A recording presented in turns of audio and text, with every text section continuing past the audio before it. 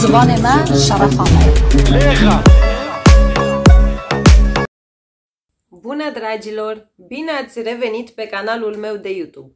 Dacă este pentru prima dată când mă vedeți, eu sunt Rojin și iubesc tot ceea ce înseamnă parfumuri și parfumerie, având o slăbiciune către latura Middle Eastern. Dacă și voi sunteți în aceeași zonă de interes, v-aș mulțumi dacă ați apăsat butonelul de subscribe, implicit clopoțelul, pentru a primi notificare de fiecare dată când eu postez câte un videoclip nou. Treaba aceasta este total gratuită, toate videoclipurile sunt total gratuite, like-urile, comentariile, distribuirile și așa mai departe. De la bun început, țin să vă anunț faptul că nu sunt în apele mele.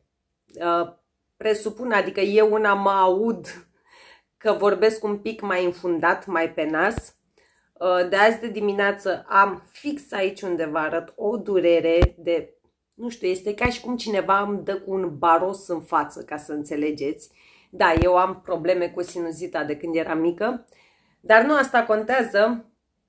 M-am adunat, m-am pastilat și am zis să um, vin către voi astăzi, vineri, 4 uh, octombrie, cu un nou videoclip. Dar, înainte de recenzie, parfumul zilei mele de astăzi și o să vă vorbesc mai multe despre acesta și multe altele undeva luni sau marți, vedem săptămâna viitoare. O să filmez un haul cu mai multe parfumuri ce le-am uh, adunat în ultima vreme. Dar astăzi m-am parfumat cu Devotion Intense de la D&G. Da, este aceeași uh, sticluță precum Devotion, doar că este culoarea mai intensă, dacă doriți. Iar parfumul în sine, nu știu, îl ador, pur și simplu îl ador. A fost uh, blind, da, am ajuns să fac blind și în legătură cu o nouă lansare a unui uh, parfum din categoria designer, însă este fix ceea ce mi-am dorit eu sau fix ceea ce m-am gândit eu că ar fi de fapt Devotion. Am testat Devotion de N și N și N și N ori și nu m-a convins. Este prăjituros dacă doriți, acum vorbesc de Devotion, da? Prima variantă. Este prăjituros, este ocheiuț, dar vroiam să aibă, să aibă mai multă profunzime, dacă are sens, nu știu, mi se pare pur și simplu acea prăjiturică pentru o fetiță. Pe când Devotion Intense este acea prăjiturică pentru o femeie. Um, are același um, ADN, dacă doriți, are același profil uh, olfactiv asemănător cu Devotion, doar că acesta, fix precum îi spune numele, este mult mai profund. Este mult mai multă floare de portocal aici, izul acela nati este foarte, foarte in your face dacă doriți aici. Nu știu, este pur și simplu demență totală. Îl ador. Cred că este primul parfum de designer din, uh, din acest an care m-a fascinat atât de tare. Îl ador pur și simplu. Și da, din start face parte din uh, categoria nu vreau să-mi lipsească niciodată. Lăsați-mi și mie în secțiunea comentarii ce parfum purtați dumneavoastră sau ce variantă de layering purtați dumneavoastră în momentul în care veți urmări acest videoclip. Și vin cu recenzia unor uh, parfumuri despre care nu v-am vorbit niciodată până acum. Achiziționate blind, ambele. Uh, unul e cu love, unul sunt uh, între nu știu dacă va rămâne sigur la mine sau va pleca, dar vorbim despre două parfumuri ale casei Maison Alhambra și anume uh, Scepter, cred că se pronunță, Scepter Oceana aici și Scepter Amazonit. Și haideți să începem cu preferatul meu, Oceana. Ele vin fix așa. Am uh, păstrat inclusiv uh, slivul, tot, tot, tot, ca să vă arăt prezentarea. Aceasta este cutia, scuze, în care uh, vine parfumul și aici este parfumul. mamă, aici este cutia în care vine parfumul și aici este parfumul. Bun, aceasta este sticluța, îmi place maxim, maxim, maxim, nu știu, e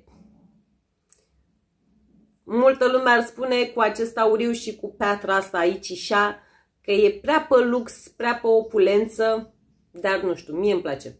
Am impresia că totul e perfect. E genul de sticlă perfectă. Da, am pus capacul invers. Acesta este capacul, aici este dosul sticlei. Vine în uh, cantitate de 100 de mililitri. Veți avea notele inserate pe undeva pe ecran, ca de obicei, iar acest uh, Scepter Oceana uh, este inspirat din linia de lux de la Bulgari, Orom, Legem, Orom, nu știu, vi-l inserez și pe acela pe undeva pe aici. Este un parfum marketat ca fiind, uh, da, atomizorul este foarte, foarte fain. Și da, nu mă deranjează să dau trei pufuri din acesta. Este un parfum marketat ca fiind masculin, însă, în opinia mea, este total, total unisex. Și față de frățiorul său mai verde, mi se pare mult mai ușor de iubit uh, și de către o doamnă și de către un domn. E genul acela de aromă ce aș încadra-o în zona lemnos vanilat, zic eu, așa, așa îl percep. Pe undeva pe acolo este și o atingere de piele întoarsă, însă nu este nimic mult prea mult, nu este nimic in your face. Um, o să vă fac uh, celebra comparație, da?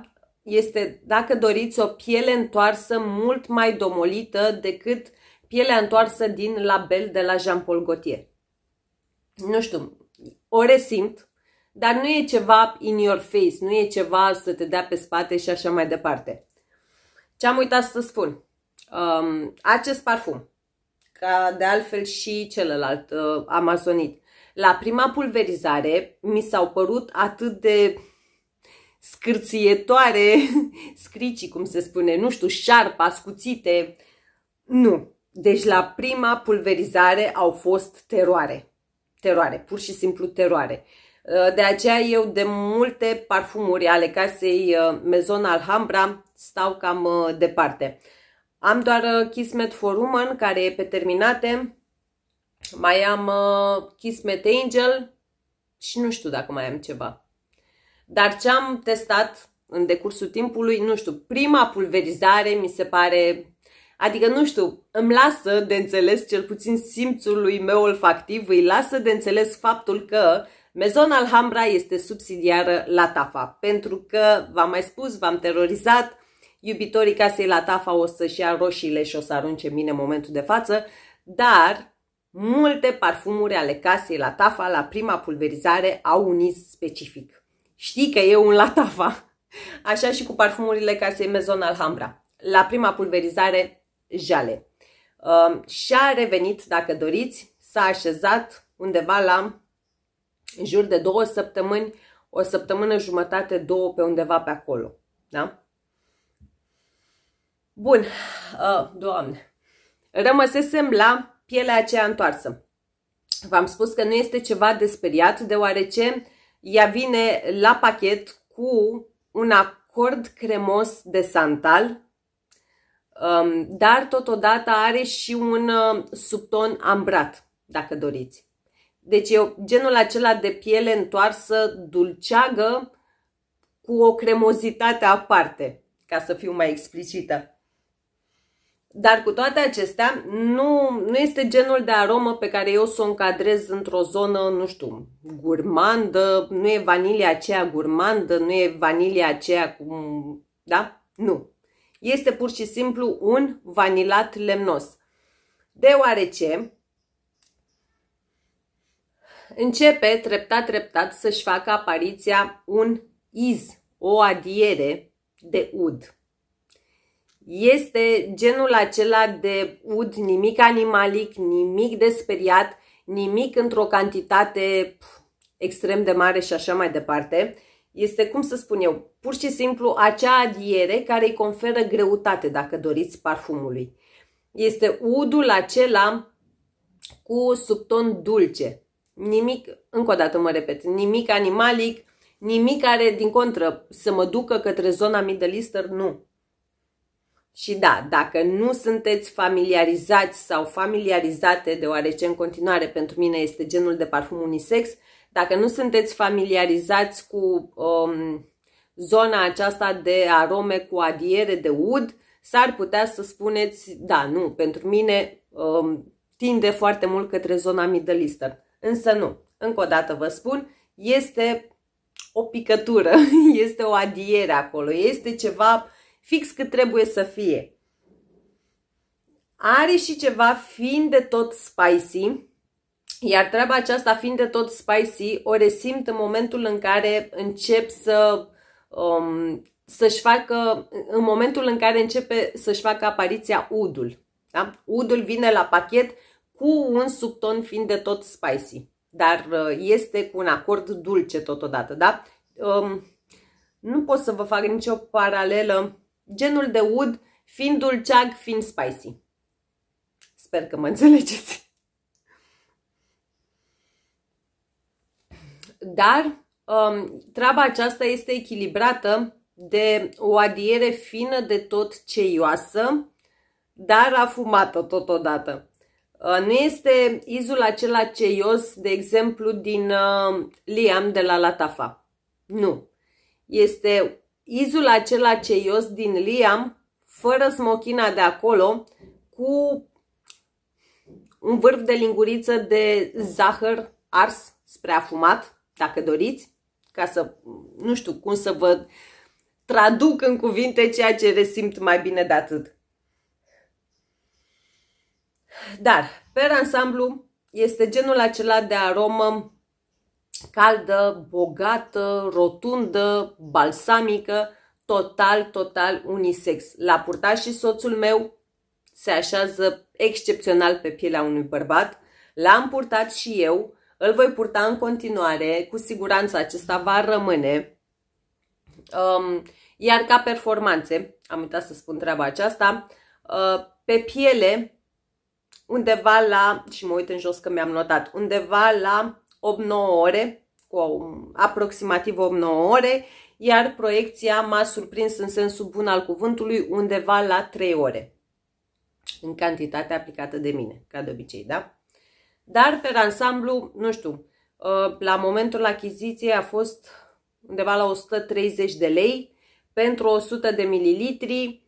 Mi se pare un raport calitate-preț destul de bun, spre foarte bun, pentru gusturile mele încă o dată. Doar dacă stați bine cu răbdarea și uh, reușiți să-l lăsați să stea o săptămână, jumătate, două. Sau, nu știu, da chiar, lăsați-mi și mie, vă rog, în secțiunea comentarii, dacă aveți parfumuri ale casei Maison Alhambra, dacă aveți aceeași experiență pe care o am eu. Izul acela ascuțit, scârțitor la început. Da? Chiar sunt foarte curioasă. Și dacă nu aveți aceeași experiență, că e normal, nu tuturor ne plac același parfumuri, nu toți avem aceleași performanțe și nu toți culegem același lucru dintr-un parfum, lăsați-mi și mie, vă rog, ce parfumuri aveți și nu ați întâmpinat uh, situația aceasta. Dar, pe ansamblu, pentru mine, categoric 10 din 10. Îmi place foarte, foarte mult. Nu am testat uh, Orom, originalul din care acesta se inspiră. Nu vă pot spune gradul de cât de apropiat e, cât nu este de apropiat, însă, ca un parfum uh, de sine stătător, mi se pare superb. Mi se pare superb. Um, și în plus de toate, chiar dacă eu vin și vă spun de acea atingere de piele întoarsă, acea atingere de ud, acea tentă fiind de tot afumată, este, în opinia mea, genul de parfum foarte versatil. Nu știu, nu atât pentru o doamnă cât și pentru un domn. Nu m-aș fi să port uh, Scepter Oceana, nu știu, oriunde și oricând. Nu e ceva rigid, nu e ceva Nu e ceva wow, nu e ceva care să-ți dea lumea peste cap și așa mai departe. Dar, încă o dată, pentru mine, categoric 10 din 10. Și acum trecem la celălalt parfum, care este mm. Dacă mă întrebați cum ți se pare, mm, așa mi se pare pentru că încă nu știu dacă va rămâne sau nu. Um, Scepter Amazonit, fix aceeași um, prezentare, doar că slivul este verde. Aceeași, aceeași cutiuță, care da, așa a venit, dar nu mai contează. Și aceeași sticluță, doar că de data aceasta avem o piatră verde în loc de aceasta turcoază. Hai că am zăpăcit camera, dar nu mai contează. Bun, acest uh, scepter amazonit este sau vrea să fie o inspirație din um, Falcar, tot din linia privată Bulgarii și în opinia mea, la fel, notele pe ecran, dar aici o să uh, dau decât o singură pulverizare. Pentru că este foarte greu. Genul de aromă, da, deja uh, s-a umplut camera. Um, din start, are un alt profil olfactiv, era să spun oftalmologic, dar nu mai contează, are uh, din start un alt uh, profil olfactiv față de Oceana și automat performanțele acestuia au fost mult mai mari. Și da, mă uit din nou, uh, undeva la 9-10 ore pe piele, iar ca proiecție undeva aproximativ 4 ore. Fiind o aromă mult mai complexă, dacă doriți, spicy, pielos, um, animalic, lemnos, spicy, lemnos, pielos, animalic. Cam asta îmi spune mie de la prima pulverizare. Uh, nu este o aromă pentru oricine, indiferent dacă ești domn sau doamnă. Soțul meu, de exemplu, pur și simplu nu poate cu acest parfum. Îi place la prima pulverizare, însă după 5 minute fuge la baie și se freacă pe mână sau unde s-a parfumat. Uh, cât uh, am insistat, cât l-am rugat, lasă-mă să notez performanțele, lasă-mă să văd cum evoluează pe tine ca să știu ce spun pe YouTube, pentru că da, soțul meu este cobaiul meu de multe ori ca să, nu știu, ca să pot veni aici să vă spun și care stă, și, ca, și cum este treaba pe pielea unui bărbat. Dar dacă uh, deschiderea este fresh, dulceagă, dar spicy totodată, ori numele e de vină amazonit, da? pădurea amazoniană, ori nu știu de ce, dar e ceva ce pur și simplu pe mine m-a dus cu gândul către o pădure uh, amazoniană. Nu că aș fi fost acolo, da. E chestia cu titlul și cu psihicul meu. Dar și deschiderea aceasta aș putea spune că e un subton verde pe undeva pe acolo, dar totodată este și dulce, um, mai este și un aer fresh, de asta spun, un verde dulceag fresh. Cam asta este deschiderea, um, condimentat cu ceva șofran. Un șofran care aici răzbate, dacă doriți, se simte extrem, extrem de bine șofranul de aici. Și pielea de aici nu este uh, pielea întoarsă din ocean. Nu. Este genul acela de piele naturală, dar cum să spun? Nu este, cum v-am mai spus eu în legătură cu alte parfumuri în alte videoclipuri, pielea aceea uh, naturală, dar uh, de bună calitate. Nu spun că pielea de aici nu e de bună calitate. Haideți că încerc să mă adun doar că are un fin de tot subton industrial. E ceva ce mă duce cu gândul către o jachetă de piele purtată undeva la o vulcanizare auto. Deci nu mă întrebați de ce. Are acordul acela, are ceva industrial aici. Și dacă treaba aceasta este ok de suportat, începe treptat, treptat să-și facă apariția un ud animalic și un mosc la fel de animalic. Nu mai este moscul acela luminos, nu este nici moscul acela întâlnit în balsamul de rufe, nu este nici moscul meu preferat și anume acela pufos dulceag, nu este mosc animalic acompaniat de ud animalic. și aici mie mi se taie filmul. De ce spun asta? Am testat de-a lungul timpului uh, și alte parfumuri cu ud animalic, însă acolo presupun că era ud animalic și atât, fără mosc animalic pentru că acele parfumuri nu au fost ceva de speriat.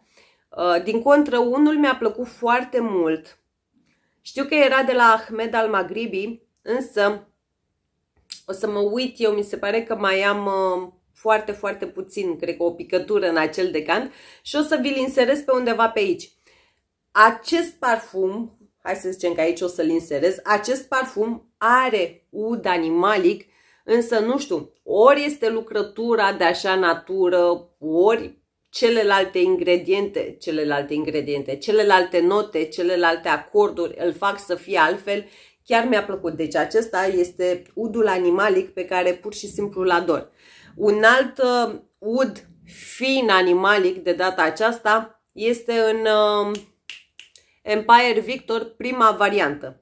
Acolo ai un ud fin de tot animalic acompaniat de multă, multă vanilie. Din nou, și acela îmi place de nu mai pot. Însă, măicuță, udul de aici, acompaniat de acel mosc animalic, nu știu, cred că nasul meu nu este suficient de antrenat, încă nu am ajuns la acel nivel să, în care să pot aprecia această aromă. Pentru că e ceva ciudat. Deschiderea îmi place, ajung la partea aceasta, încep să strâmb un pic din nas, iar um, mi-am notat eu aici unde. După aproximativ uh, două ore, izul acesta animalic dispare. Da? Nu este ceva care să vină, cum să spun eu, de undeva din notele de mijloc și să stea pe tine până în dry down-ul final. Nu. Este o adiere, dacă doriți, da? de ud animalic și mosc animalic. Dar exact cum v-am spus, fix după două ore, treaba aceasta dispare. După ce dispare, rămâne fin picant, fin verde, dar în continuare verdele acela dulceag, uh, iar treaba aceasta, fin picant, fin verde, este pe o bază, cum să spun eu, pământie. E ceva ce te poate duce cu gândul către izul pământului, izul de țărână, dacă doriți. Este, pe ansamblu, mult mai complex decât oceana. Este, oceana este frumos, doar că um, nu este, cum să spun eu, este oarecum liniar. Dar mie chiar și așa liniar cum este, îmi place. Însă, Amazonit este polarizant, categoric. Uh, din start în, nu știu, ori îl iubești, ori îl urăști. Nu știu dacă e cineva ca mine să fiu, mm, nu știu, pentru că treaba aceea, acordul uh, acela animalic din cele două ore pur și simplu mă ține pe loc. Am momente în care îmi place, am momente în care nu îmi place. Dar v-am zis, după ce trece izul acesta animalic, Uh, parfumul rămâne foarte, foarte fain. Foarte fain. Adică, nu știu, îmi place acordul acela fiind de tot uh, verde, dar dulce totodată, fiind de tot spicy, izul acela pământiu, nu este nimic care să mă deranjeze. Și uh, mi-am pus și ruș pe mână. Uh, după ce trece izul acela animalic, uh, în dry down-ul final rămâne un duo dacă doriți, trandafir și nargamotă. Și da, eu acea neiubitoare de trandafiri, însă trandafirul de aici, uh, acompaniat de nargamotă, îmi place foarte, foarte mult. Foarte mult.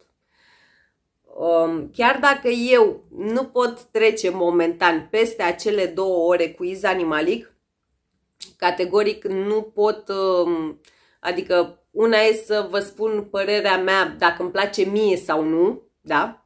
strict de gusturile mele și alta e să vă spun uh, recenzia sau ceea ce resimt eu în acest parfum. Chiar dacă eu nu prea sunt în zona acelor două ore cu iz animalic, uh, nu pot să nu apreciez complexitatea sa și felul în care a fost lucrat. Chiar este cu totul cu totul altceva. Nu este, nu știu, el ca parfum de sine stătător, din nou, nu cunosc Falcar, nu, nu l-am testat, am doar un uh, decant din acest parfum de pe site-ul celor de la Dubai Collection, de la Paris Corner, care la fel se inspiră din Falcar. Dacă doriți să fac un clip de tip versus între acesta și acesta de la Paris Corner, lăsați-mi în secțiunea comentarii și eu vi-l fac. Dar din start, varianta Paris Corner pentru mine și pentru gusturile mele este mult mai ok dacă doriți decât uh, varianta Maison Alhambra, pentru că în varianta Paris Corner nu întâlnesc treaba aceea animalică. Adică, nu știu, nu, nu percep acolo. Însă, la Maison Alhambra se simte din plin. Uh, categoric, ținând cont de complexitatea acestui parfum, ținând cont de felul în care miroase, clar, e genul de aromă ce cu siguranță o duci lejer în zona nișei și când spun o duci în zona nișei, uh, vreau să evidențiez faptul că nu este un parfum pentru oricine, nu este un izirici, nu este... Nu. Deci, clar, nu. Uh, pentru mine este 100% unisex. Soțul meu spune Uh, că este 100% masculin, eu nu, dar încă o dată nu uitați faptul că eu port atât parfumuri bărbătești cât și parfumuri unisex. Da, uite, acum nu știu, de asta spun, depinde și de stare. Acum parcă izul acela animalic se domolește și na, nu au trecut două ore, da? Dar uh, e drept, acum am, am dat o singură pulverizare, iar atunci când am testat am dat vreo 3-4 și n-a fost o idee foarte bună. Dar încă o dată, dacă sunteți în zona, dacă sunteți domn sau doamne în continuare um, și dacă sunteți în zona parfumurilor animalice și nu vă temeți de o piele industrială și nu vă temeți de uh, un ud animalic, un mosc animalic, Scepter Amazonit s-ar putea să fie din zona dumneavoastră. Dar, încă o dată, nu știu, nu aș recomanda, bine, nici la oceana, chiar dacă, da, e vanilie aici, vanilie cu piele întoarsă, cu subton lemnos și așa mai departe. Uh, chiar dacă oceana mie îmi place, uh, ca de obicei, niciodată nu recomand să cumpărați sticlele full size fără să le testați înainte. Dacă oceana mai e cum mai e, amazonit s-ar putea să fie too much. Uh, dacă aveți aceste parfumuri, lăsați-mi și mie în secțiunea comentarii cum le percepeți. Uh, de asemenea, dacă, exact cum v-am spus mai înainte, dacă vouă vi se întâmplă același lucru cum mi se întâmplă mie, atunci când uh, testați un mezon Alhambra să vi se pară scricii, sharp, la început și așa mai departe, lăsați-mi și mie și dacă nu ați întâlnit sau nu ați avut um, chestia aceasta, nu le-ați perceput așa ascuțite cum le percep eu, încă o dată vă rog să-mi lăsați în secțiunea comentarii ce parfumuri nu vi s-au părut din zona aceasta. Bun, atât pentru videoclipul de astăzi. Vă mulțumesc din suflet dacă ați rămas cu mine până la final. Încă o dată, mii de scuze pentru această față, dar doare, deci doare aici și aici de mai pot și vorbesc pe nas, dar slavă Domnului, când am durerile acestea și când uh, am, că oricum la mine cam în fiecare toamnă se întâmplă treaba asta, uh, nasul, simțul olfactiv nu mi este afectat. Pentru că dacă mi era și simțul olfactiv afectat, eram la pământ. Bun, să rămână mult, vă îmbrățișez cu mare, mare drag și până data viitoare vă doresc zile minunate și mega, mega parfumate. Hai în comentarii, v-am pupat! Zvonena Șarafanoa.